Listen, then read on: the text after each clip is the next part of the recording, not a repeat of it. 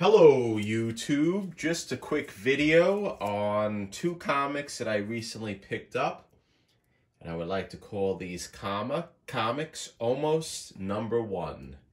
The first comic that I picked up is Marvel Features presents The Defenders number two. This is the second appearance of The Defenders. I think it's a pretty clean book. As with all my books, I'm going to clean it, press it, and send it off to CGC. I'm curious to see because there is a fingerprint on the spine that I am going to try to get out before I send it off. So Defenders number two or Marvel Features number two, almost number one, but off by one number. The next book that I picked up is Ghost Rider number two.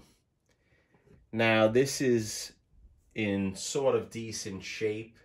I would label it probably around a six. There is a big stain around here, around the ghost. And it does look like there may have been some color touch on this book. So I'll further inspect it and see if I can identify any color touch and I'll try to remove it before sending it off to CGC. This is a popular book because I do believe this is the first appearance in a comic book of the Son of Satan.